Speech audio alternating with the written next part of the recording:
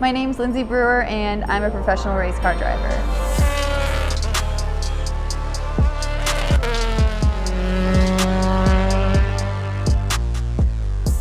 All right, so how many times have you shot a gun in your life? Absolutely never. I am a complete rookie. I've never even held a gun, so completely new to all of this. And that's why I'm so honored to have you kind of teach me the ropes about all of this. Well, I think Mike is an absolute badass. I've seen some of the stuff he's done and I think he's gonna have no trouble today doing this. He's, he's done a lot of cool things and you know, I'm just excited to teach him a little bit about my world and what I do and hopefully he can teach me some of the stuff he does. And you know, I think self-defense is something I've always wanted to learn. So I think hopefully we can give each other a bit of knowledge on both of our things we do, our occupations. So we're gonna Okay. focus on safety.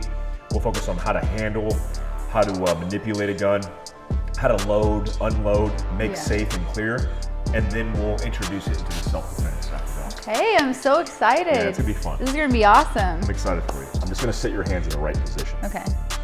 So and that's the right position. Okay.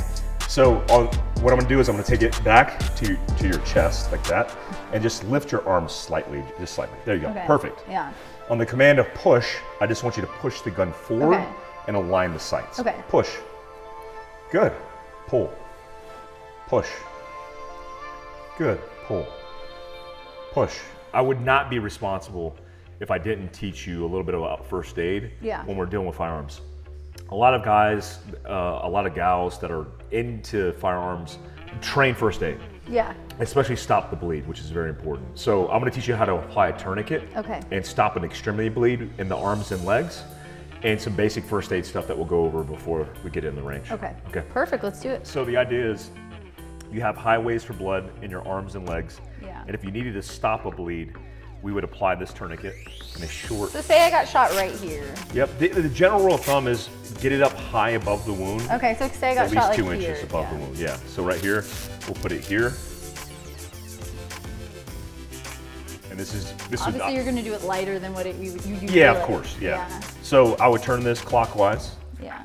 and then set it into the groove Yeah. here and then apply this. And that would stop the, the bleed. If you're actually Okay. training it, one way to do is a radial pulse. And you won't So- feel a pulse and you won't feel a pulse or a pulse ox meter on your finger. Yeah. And you won't you won't register a pulse. Okay. And then when I come here, uh, some of the things that are takeaways is this is just Velcro holding this on. Yeah. But this red tab is always towards your heart. Okay. Okay.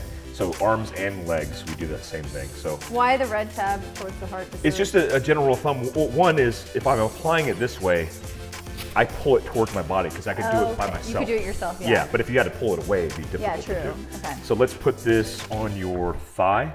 Okay. Yep. And I always, oh, Oh, but it's the wrong way. Oh, it's okay. Okay. It's all right. On the leg, when it's self-aid like that, you can get away with that. Okay. So you want, yeah, you want it just isolated on top. Go ahead and do the Velcro all the way, just like that. And then, Do you put that through there? yep. Okay. I, I set you up like that. You don't, you don't have to. Okay. Just like this is fine. And then you would turn that. Just give it one Clockwise? turn. Yep. One turn clockwise. Put it in the groove.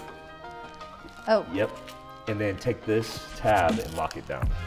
Just like that. Damn. Just like that. I feel and a, that, And a check would be, be careful because anatomy is weird, but we all have this socket.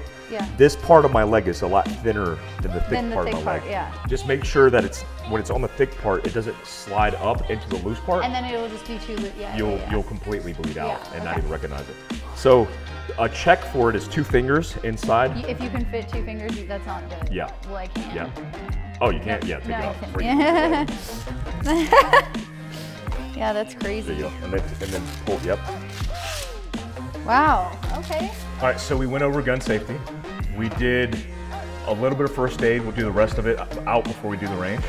But I think it's time now to focus on the fundamentals and go shoot guns for the first time, right? Yes, my very first time. I'm so excited. Yeah, are you nervous? Yeah, I'm a bit nervous, but after holding the gun and kind of getting situated, I feel confident and ready enough to shoot and try. So we'll see. It's gonna be awesome. Yeah, it's gonna be All right, great. let's go. All right, let's go. I'm very excited. I've never shot a gun before. I'm completely new to that world, so um, definitely a bit nervous, but I know I'm in good hands and I'm gonna learn from the best. So uh, I trust him, and I think it'll be a lot of fun today. So here's what I want you to do. On the command of threat, I'll just say it just like that. Yeah. I want you to start pulling your trigger finger back to the rear while you're counting to three Okay. out loud. Shooter ready, stand by. Threat. One, two, three. Good. Yeah. Did it. Do it again. One, ready? One, two, three. Good. Do it again. One, two. Good. One, two. Very good. Can I shoot for the head? Yeah, you can. So put your hand, you're slipping your grip just slightly. Okay. So I'm gonna take your hand and I'm gonna position it My right hands here. are so sweaty. It's all right. So. Just like that. I Real can't see solid. Oh, there's a red dot. Good. There's a real red dot. Red dot. Perfect. Do that again. And you're doing good. Just bend forward just a little slight. There you go. Slightly. There you go. Okay, hands on the trigger. Yep. And then put the, the the dot on the head and slowly push it to the rear.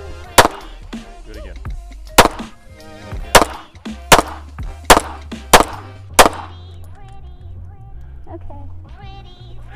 Was that good? You're doing it so good. Really? This is insane. Really? I'm actually really impressed. Okay, good. Like you're so technically proficient. really? Well, it's weird because I mean, if I taught, if I told a guy to do that, Yeah. he would do it ten other ways. Really? But it, you're doing exactly what I tell you to do. See, that's guys have egos, and so they Yeah. want to think they can do it the way they want to do it. But I feel like I listen to the professional. Yeah, it's so crazy how Yeah. good you are. Thank you. And then look where you're shooting. You're not the first time you've ever shot a gun, and you're putting it on target and following fundamentals and just breaking the shot clean. Yeah. So I just shot a gun for the very first time, and it was absolutely incredible, very exhilarating. I feel very comfortable and safe, and yeah, just it's just quite an experience you can't really understand unless you've done it.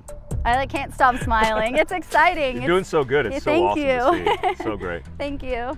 All right, shooter ready. Stand by. Threat.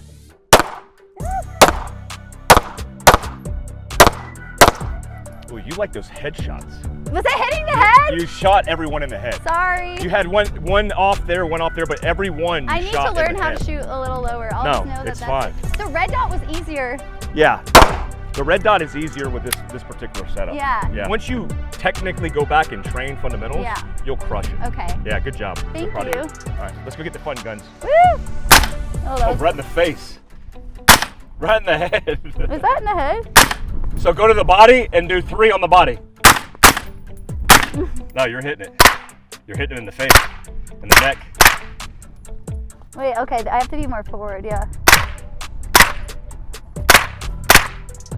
Yep, what's up? Was that okay? Yeah, oh my God. Okay. You just hit him in the head like 10 times.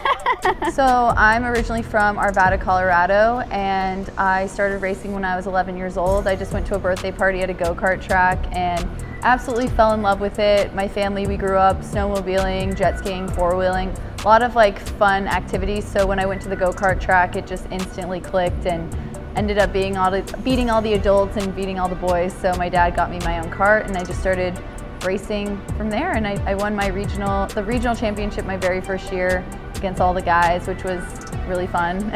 I heard he has a little bit of a racing background but i think obviously just the way to take the corners the braking uh, where to hit your apexes the racing line and just you know the quickest way to get around the track. We're going to look at the telemetry we're going to look at his onboard and i think he's about to take a couple warm-up laps on the track now, so I'm gonna see how he does there, but just a little bit of technical stuff that we're gonna talk about. All right, so what we got here is the Huracan GT. So this thing is 610 horsepower rear wheel drive. You can go zero to 60 in three seconds, so this thing is no joke.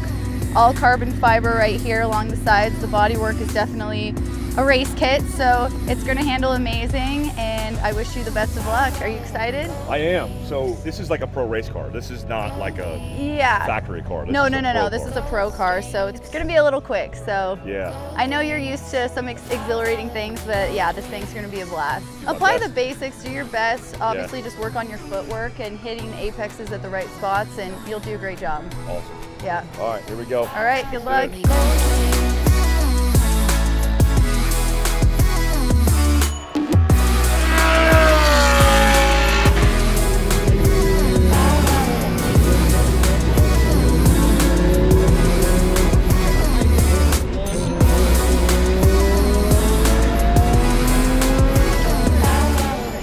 So we're about to look at your onboard footage right now, and I'm about to critique how you did. So I know it's your first time out here. Um, I'll go a bit easy on you, but I'll teach you a little tricks and tips like what you could have done to maximize the speed. So yeah, you definitely braked a little early here. I know it's your first lap out, but you could have pushed that brake zone a little bit deeper.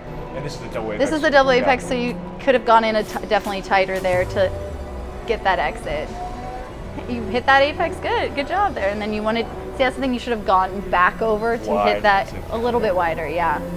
The biggest thing is like you could have just hustled the car a little more and like carried more minimum speed through it. Yeah. Not necessarily, like you just, I think we're over braking this lap a little bit. But again, this is your first flying lap. Do you use momentum, like of the car, to drive? Yeah, yeah, exactly. So you you brake to use, and but you don't brake too much. So you, you brake just a bit to get the nose pointed and carry that rolling speed, to get it straight and go. This track is so tight as it is. You really want to just like use all the track. You should have been over to the left already. Ah. That's the thing. Like so you could flow that speed through. I talk a lot with my hands. No, it's good. It makes No, sense. So, so is he. the kind I'm just I, like it's that gross movement. It's hard to, you're not used way. to it yeah exactly and with a heavy car like thi- this it is like more of an abrupt movement to get back over but like in that case you needed to take more a bit of a more late apex. So what that means is like you wait a little longer to turn in and hit the apex like at a later one. So it kind of like say the turn is like this you would hit it later so it already positions you over here for the next corner. Instead of an early apex where it pushes you out tight and then you have to aggressively get back over Yeah. so so my best was 5808. no, you did better every lap. Like Yeah. every single lap, you got quicker, and that's like Yeah. improvement there. I mean, hey, this is your first time out here, and you only got to do five laps. Like you did a really to get under a minute on your first time is actually really good. So Awesome. I think it's really cool that we both we're gonna get to show each other a bit about our, each of our worlds, and it's two people that love to do very exhil- exhilarating things. So it's gonna be a great time.